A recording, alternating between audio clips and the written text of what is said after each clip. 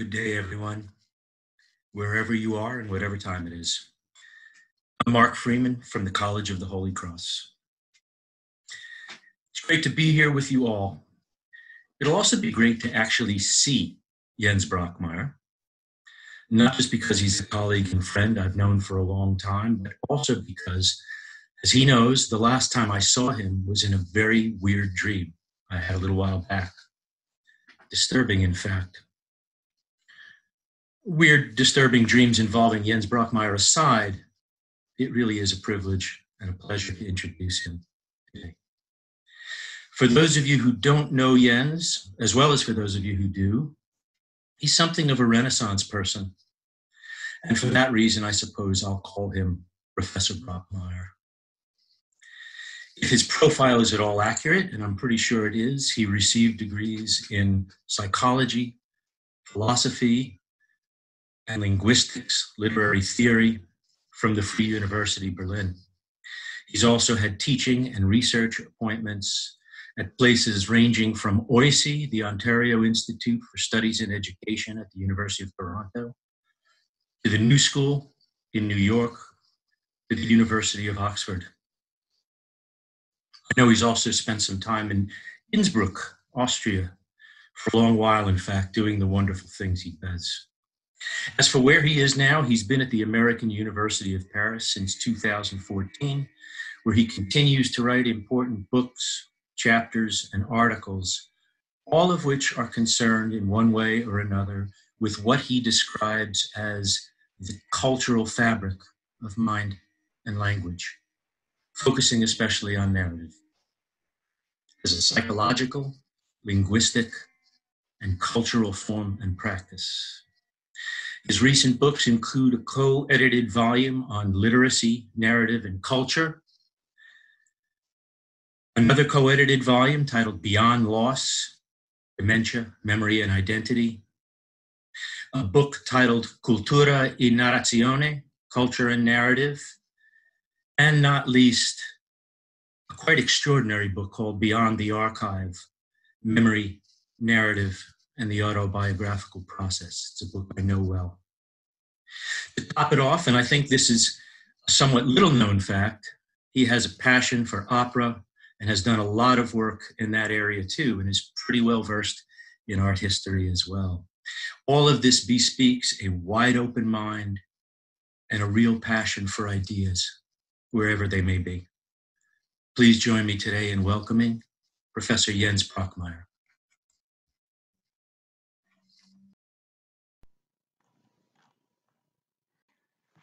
Like many other people during uh, the weeks and months of the corona lockdown, I spent a lot of time reading papers and magazines about what, what, of course, about the lockdown, about what it does, does to the people affected.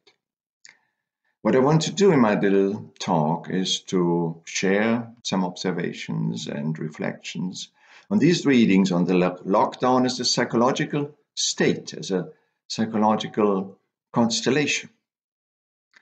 I was puzzled to see how often I came across the concept of the self, this uh, time honored battle horse that has managed to survive uh, whatever combat and crisis it has encountered.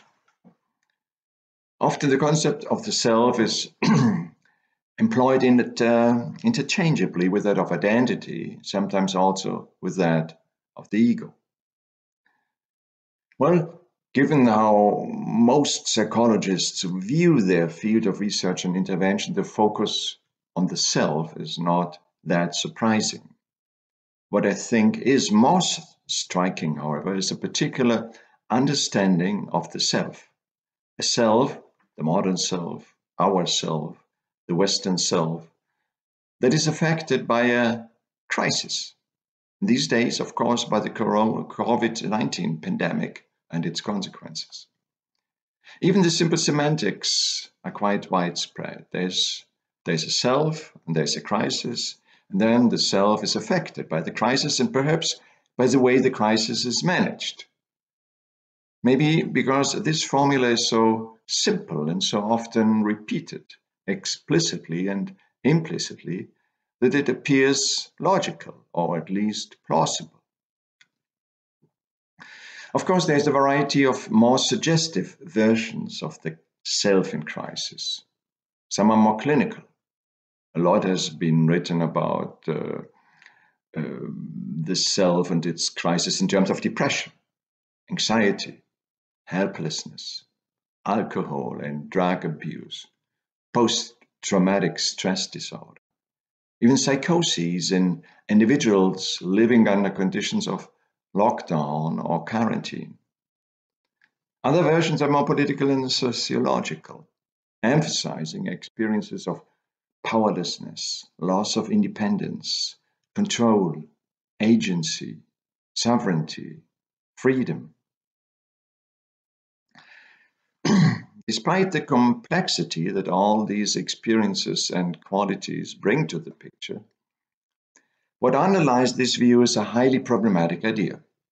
First of all, that there is a self, an independent, stable, and functioning identity, entity, I should say, that um, secondly now comes under heavy attack, like a viral organism that comes under attack when a coronavirus is inhaled and infects the lung tissue, like an intruding microbiotic terrorist, as an epidemiologist called the virus. But before this, before the attack, the organism, like the self, worked more or less well, if not healthy.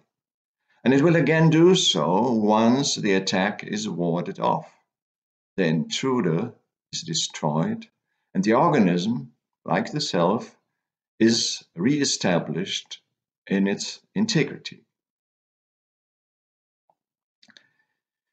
there's a long there's a long tradition of psychological and philosophical thinking that has repudiated exactly this idea of the self as an autonomous entity, a self that defends its sovereignty against hostile intruders. There are many books on the history of this idea and the history of its um, repudiation as a valid model of uh, human self and identity.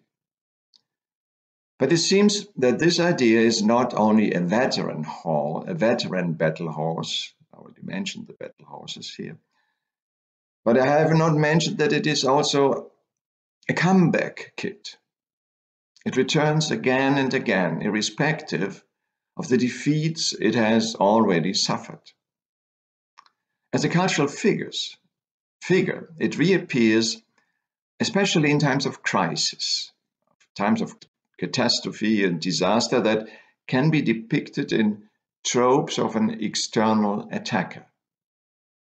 The self in crisis is the self attacked as if the attack on the self, um, first of all, confirms the idea of the self. Rom Harré has remarked that there are psychological concepts that are particularly prone to being substantialized and ontologized.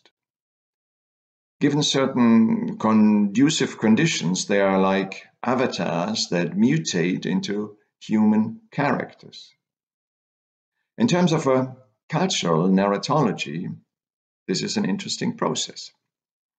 Take um, pre-modern myths, which are comparable tropical figures.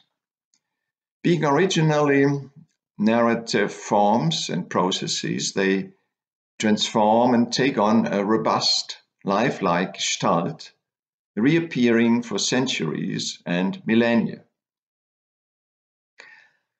Much of this uh, mythical uh, substantializing happens in storied forms. In the life of a culture, there's, there's a lot of narrative material.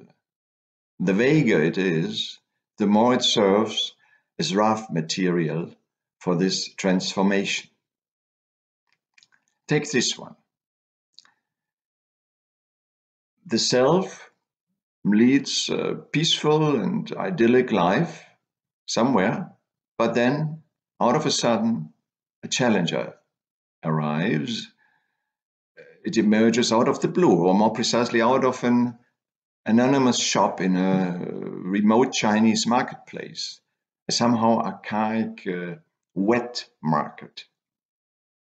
There might be bats involved, uh, dogs and rats, and who knows, even early evolutionary creatures. From the beginning, this challenger, the enemy, has a name Corona. I wonder if any marketing agency could have come up with a more, with a more compelling name. now we have the two protagonists of many stories told by, told by psychologists, but also by epidemiologists, political commentators, and countless other pundits. Corona and the self in crisis. And there's me again, as I'm reading in a piece in the science section of the New York Times written by a psychologist, the question how can such a tiny virus become so powerful, giving such a massive narcissistic blow to the modern self? It is helpful to remember that uh, the term narcissistic blow also has a venerable, a venerable history in psychology. In 1917, Sigmund Freud distinguished three narcissistic injuries or wounds or scars to characterize events that challenge the narcissism or more generically the self-esteem of a person or a group of person of persons. Freud uh, argued that the general narcissism of the Western self experienced three fundamental injuries. These three humiliations of human self esteem came in the wake of three scientific discoveries, namely that of Copernicus, according to which we are not in the center of the universe at all, that of uh, Darwin, who showed that we are not of godly origin, but evolved in the same way as apes and, in fact, as viruses. And finally, Freud referred to the psychoanalytical discovery of the unconscious, the fact that we are not masters in our own house.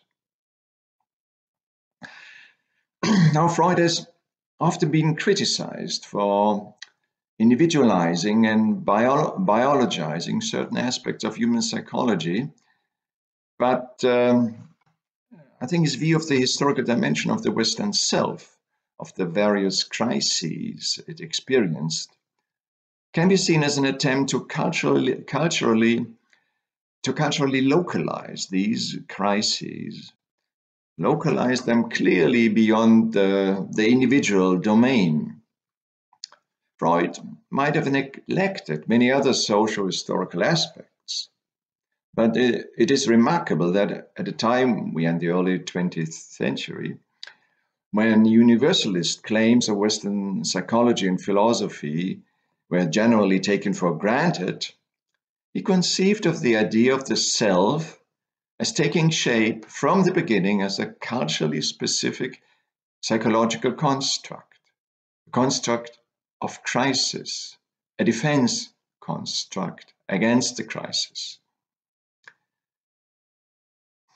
Freud, um, of course, Freud was not the only one. There has been a, a long-standing tradition in Western thinking addressing issues of human existence, of uh, self and identity is as ever changing and principally open and, uh, yes, even elusive. Against the cultural background of modernity and modernism, many philosophers and writers lost the self-certainty and the self-certitude characteristic of earlier times. One of the counter concepts to the, to the modern self is the medieval self, or more generically, the classical Christian self. In contrast with the crisis ridden modern self, the Christian self is firm and stable because it is ultimately grounded in God. That is, its basic condition is that of stability, even beyond death. Whereas the modern self is subject to the Enlightenment imperative that it has to be created by each human individual. Dare to make use of your own understanding, including your own self understanding. For a long time, the assumption was common that the pre-modern Christian self was the original stable rock bed that became more and more shaky the more external intruders like Copernicus, Kant, Darwin, Freud, and the likes took center stage.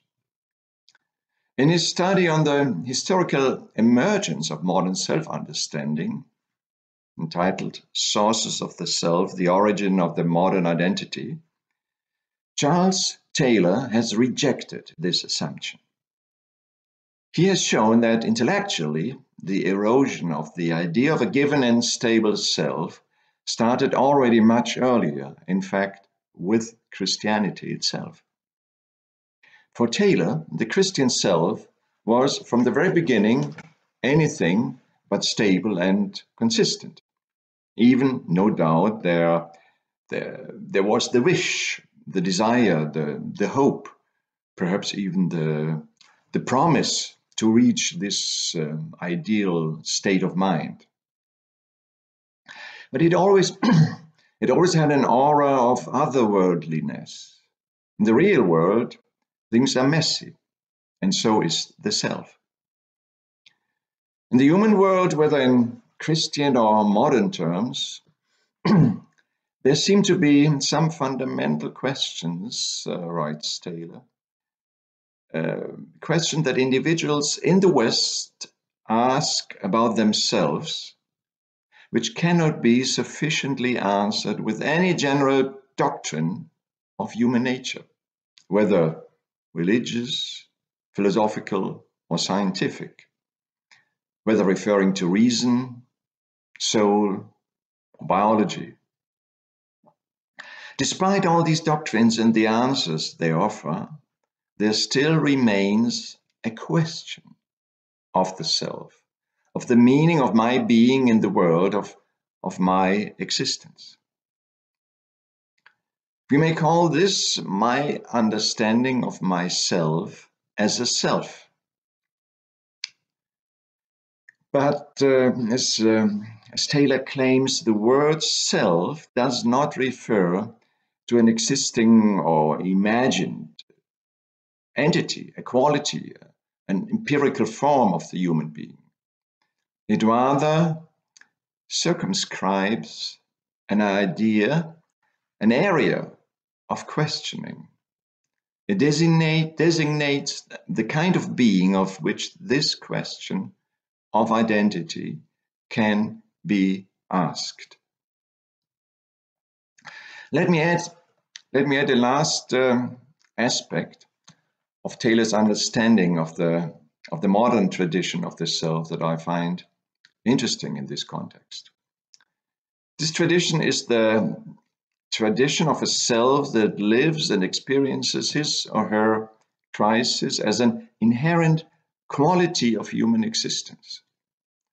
Drawing on Taylor, we might say that the process of self exploration is part and parcel of establishing one's identity. The search for one's self takes place in order to come to terms with oneself, not in order to tackle an external crisis, to, to ward off an, uh, an enemy intruder who challenges the health and peace of mind and of an otherwise uh, firm and stabilized self.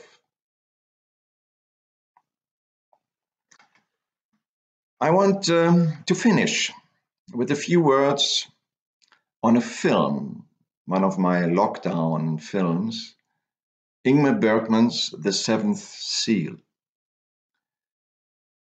Bergman in this film tells the story of a knight, Antonius Block, who returns from a crusade to his uh, homeland, Sweden, that is devastated by the plague. Now there's an historical background to this story, the, the pandemic that ravaged uh, Europe in the Middle Ages, killing about one third of its people. Of its people. Now the knight, completely disillusioned, comes home facing his own death. However, he wrests uh, from uh, wrests his life from death for the duration of a match of chess. And this time, he wants to find the meaning of existence. Well, to make it short, Block does not find it. He does not get an answer because, uh, well, even death does not know an answer. And so Block dies unredeemed.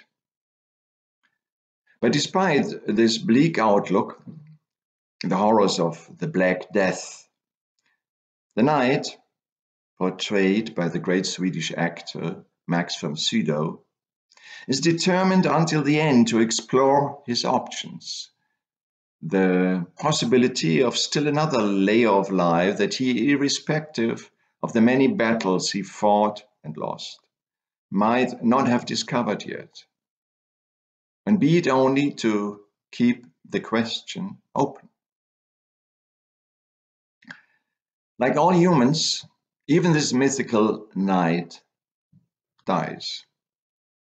But there was at least one moment in his life, a space, an island in the flux of time in which this question, in which these questions could be asked, in which they could become the dominant form of life itself, of being or having a self during the chess match with death. Do you ever stop questioning? Death asks, and Bergman's knight shakes his head. I cannot. At the same time, Bergman's film investigates how one of the great myths of the self emerges the myth of the sovereign self, the autonomous subject, the Western ego. At least for the time span of one chess match, Knight and Tony Block appears to be on equal footage with Death, the ultimate challenger who always wins. Bergman's film is like a myth, it's itself like a myth like narrative. But at the end, Block rejects the myth even without any idea of uh, how to overcome the crisis or to win the chess game that is his life. He leaves the question of the meaning of his existence unanswered, as he leaves us with an impression of his life and a sense of his existence as something that cannot be distinguished from the search for his self.